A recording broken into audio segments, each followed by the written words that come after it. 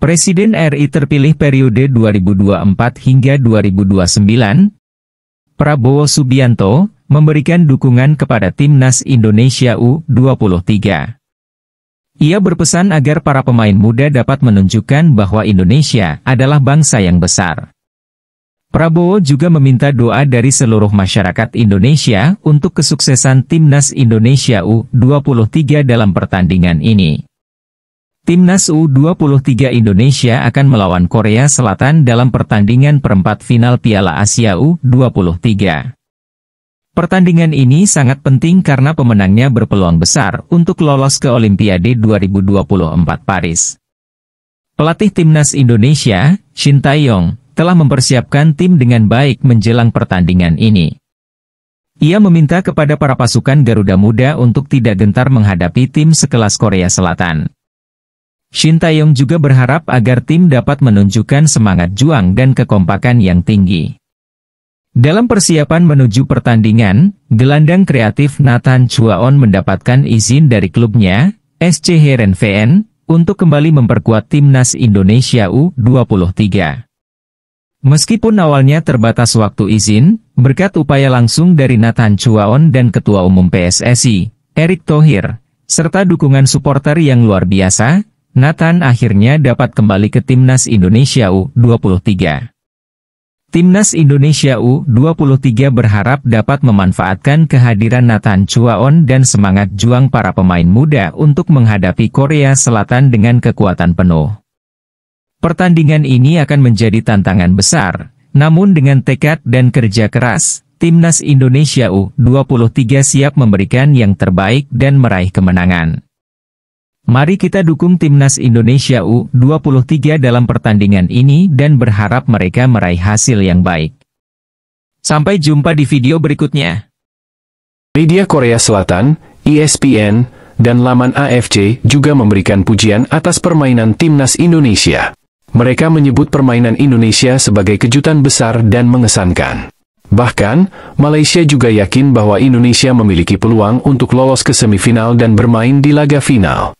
Kemenangan Indonesia atas Yordania juga mendapatkan sorotan dari Nathan Chowaon yang telah kembali ke klubnya di Belanda. Nathan memuji mentalitas dan intensitas permainan timnas Indonesia, serta mengakui bahwa rekan setimnya telah menunjukkan penampilan yang sangat baik. Prestasi timnas Indonesia U23 ini menunjukkan progres yang luar biasa dan kualitas permainan yang setara dengan tim-tim elit di Asia. Dukungan dari para penggemar dan harapan untuk kesuksesan di Piala Asia U23 semakin besar. Timnas Indonesia U23 berhasil melaju ke perempat final Piala Asia U23 setelah mengalahkan Yordania. Ketua Umum PSSI, Erick Thohir, mengungkapkan bahwa ia telah berbicara dengan Emil Audero, kiper AC Milan, mengenai kemungkinan naturalisasi. Namun, Erick Thohir tidak akan memaksa Emil untuk bergabung dengan timnas Indonesia. Ia berpegang teguh pada nasionalisme dan menyatakan bahwa jika Emil ingin membela timnas Indonesia, mereka terbuka untuk itu. Media Korea Selatan, ESPN, dan laman AFC memberikan pujian atas permainan timnas Indonesia U23. Mereka mengakui kehebatan permainan tiki-taka timnas Indonesia dan penampilan yang mengesankan dalam pertandingan melawan Yordania. Media Korea Selatan menyebut gol-gol timnas Indonesia sebagai hasil dari konsep permainan yang matang.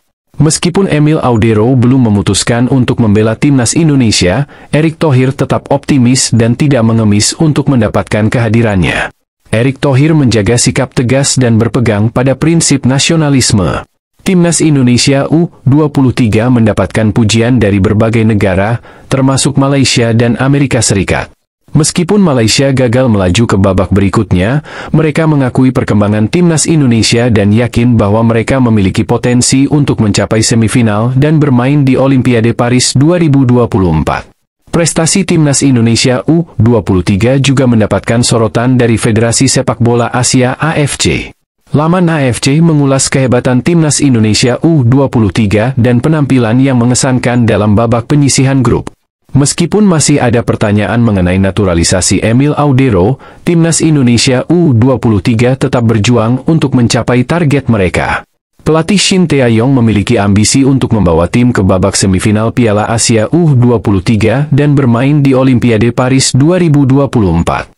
Channel Bung Harpa memberikan update mengenai kegiatan Timnas Indonesia U23 di Piala Asia U23. Meskipun belum ada informasi resmi, mereka diberitahu bahwa tim akan melakukan official training di Qatar University pada pukul 18 waktu setempat. Nathan Chowaon, yang sebelumnya menjadi perbincangan tentang kemungkinan naturalisasi, kemungkinan besar tidak akan tampil melawan Korea Selatan karena belum dilepas oleh klubnya, SSC Heerenveen. Meskipun ada ketidakpastian mengenai kehadiran Nathan, timnas Indonesia U23 tetap fokus dan optimis. Pelatih Shin Tae-yong berharap pemain lain dapat tampil dengan baik dan menggantikan peran Nathan di tengah lapangan. Justin Hapner dan Ramadan Sananta adalah beberapa nama yang disebut sebagai kemungkinan pengganti Nathan. Timnas Indonesia U23 telah mencetak sejarah dengan lolos ke babak perempat final Piala Asia U23. Meskipun ada kekhawatiran atas absennya Nathan, para pemain tetap bersemangat dan siap menghadapi Korea Selatan. Channel Bung Harpa mengajak para penonton untuk tetap mendukung timnas Indonesia dan berharap ada pemain lain yang dapat menonjol dalam pertandingan tersebut.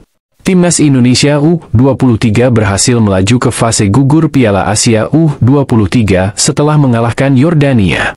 Keberhasilan ini membuat rakyat Indonesia bangga dan berharap tim dapat melangkah lebih jauh. Kemenangan tersebut juga membuka peluang bagi timnas Indonesia U23 untuk tampil di Olimpiade Paris 2024. Ibu dari Ivar Jenner, pemain timnas Indonesia U23, terlihat sangat emosional saat menyaksikan pertandingan. Ia terbang dari Belanda ke Qatar hanya untuk mendukung anaknya. Ivar Jenner sendiri tampil impresif di pertandingan tersebut setelah absen di laga sebelumnya melawan Australia. Pelatih Shin Tae-yong juga mencetak sejarah dengan berhasil meloloskan timnas Indonesia U23 ke fase gugur Piala Asia U23. Ini merupakan prestasi yang luar biasa karena timnas Indonesia U23 merupakan tim debutan di turnamen ini. Shin Tae-yong mengungkapkan kebahagiaannya dan berbagi kemenangan ini dengan semua pihak yang terlibat.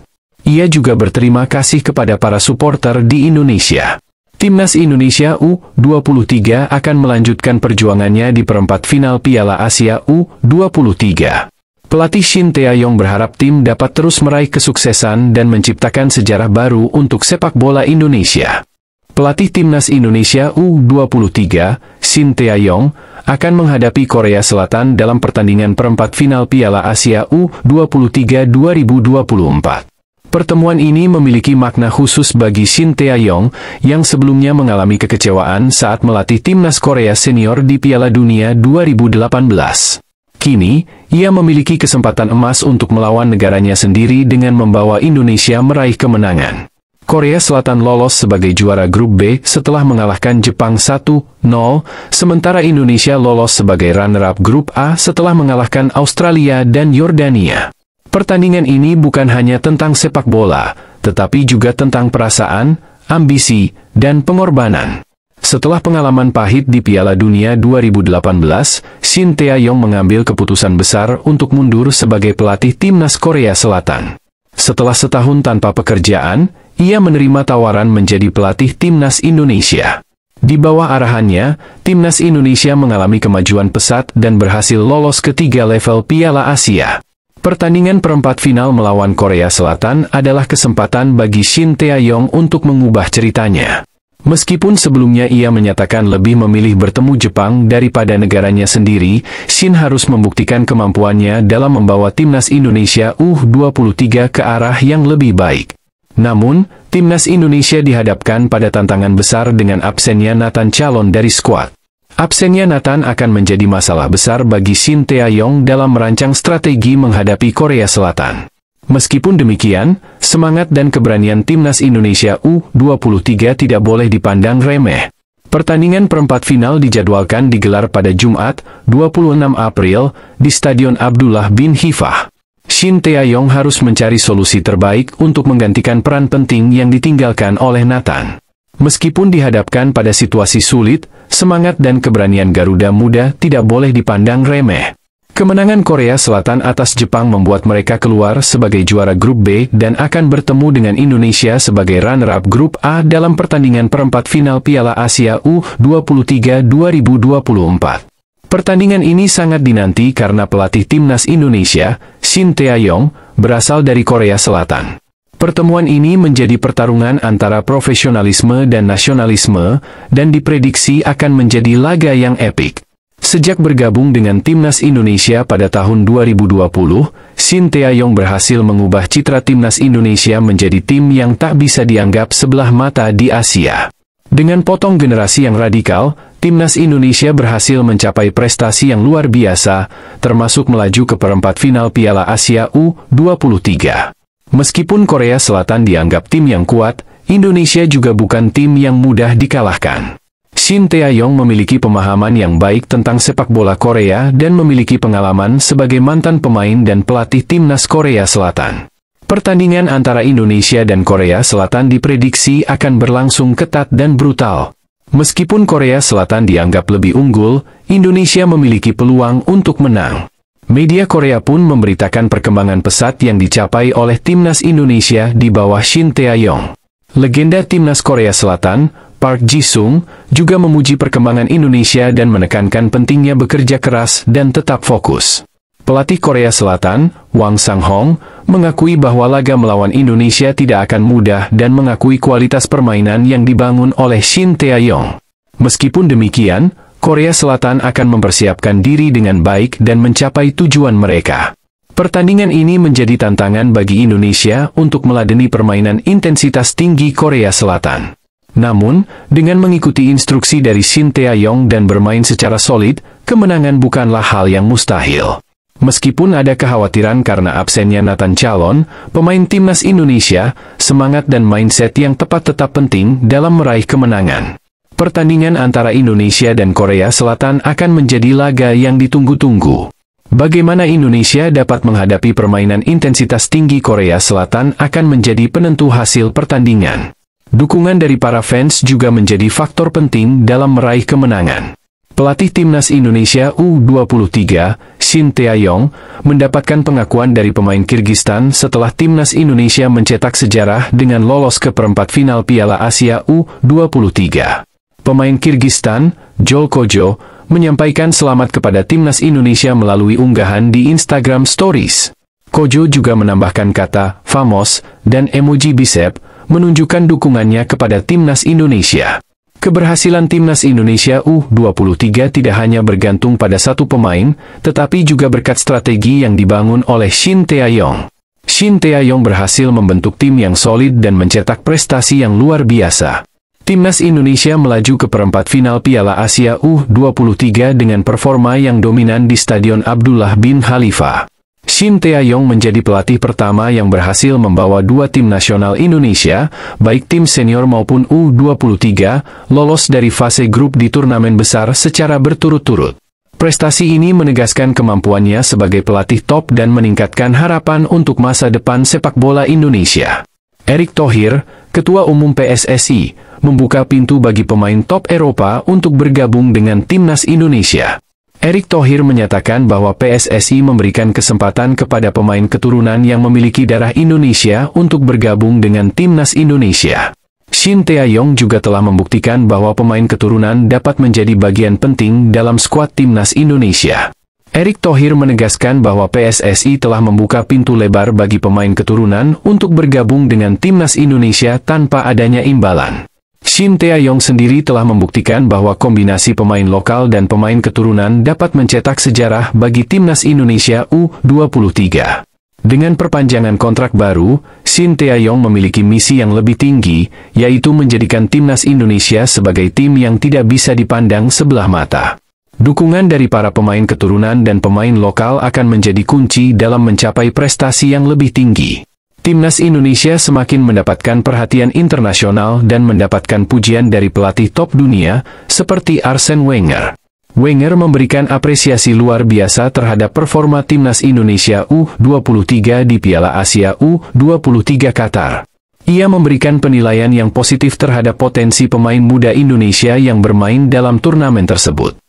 Kedekatan Wenger dengan Ketua Umum PSSI juga menjadi perhatian menarik karena ia memiliki pengetahuan tentang perkembangan sepak bola Indonesia dan tim nasional. Wenger mengakui bahwa timnas Indonesia berkembang pesat dan memiliki beberapa pemain yang bermain di Eropa. Ia memberikan pujian atas partisipasi timnas Indonesia dalam Piala Asia U23 dan keberhasilan mereka lolos ke babak delapan besar. Timnas Indonesia akan bertemu dengan Korea Selatan dalam pertandingan perempat final. Shin Tae-yong, pelatih timnas Indonesia, menyatakan bahwa akan menjaga profesionalisme dan memberikan instruksi terbaik kepada pemainnya untuk memenangkan pertandingan. Shin Tae-yong mengungkapkan bahwa pertemuan dengan Korea Selatan adalah hal yang ia tunggu dan ia ingin membuktikan profesionalismenya dan loyalitasnya terhadap negara. Pujian dari Wenger dan perasaan yang ada di timnas Indonesia semakin memanas menjelang pertandingan melawan Korea Selatan. Timnas Indonesia semakin mendapatkan perhatian dan menjadi sorotan positif di kancah internasional. Timnas Indonesia U23 semakin mendapatkan perhatian internasional setelah mencetak sejarah dengan lolos ke babak delapan besar Piala Asia U23.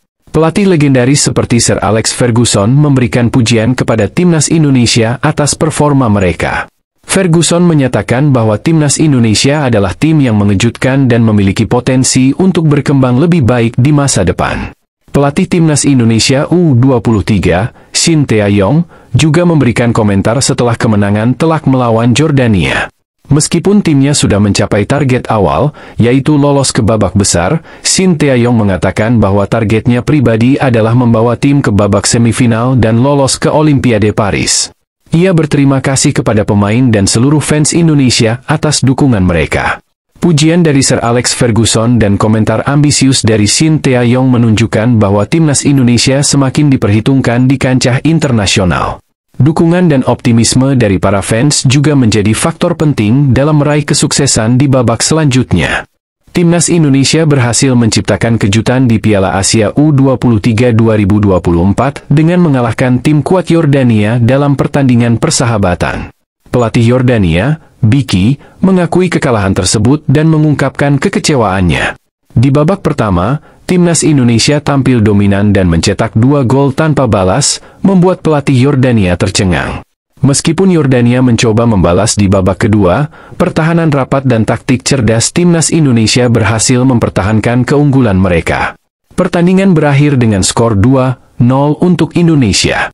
Kemenangan ini bukan hanya membanggakan bagi timnas Indonesia, tetapi juga menjadi dorongan besar untuk persiapan kompetisi mendatang. Pelatih Yordania harus menghadapi pertanyaan yang sulit setelah kekalahan telak ini. Namun, pertandingan ini juga mengingatkan kita bahwa sepak bola penuh dengan kejutan dan setiap tim memiliki potensi untuk mengejutkan dunia. Pelatih timnas Indonesia, Shin Yong, memberikan pernyataan yang membanggakan setelah pertandingan. Ia menyatakan kepuasannya dengan performa timnya dan semangat bertarung yang ditunjukkan oleh para pemain. Shin juga menyampaikan harapannya untuk melanjutkan kepemimpinannya dalam melatih timnas Indonesia.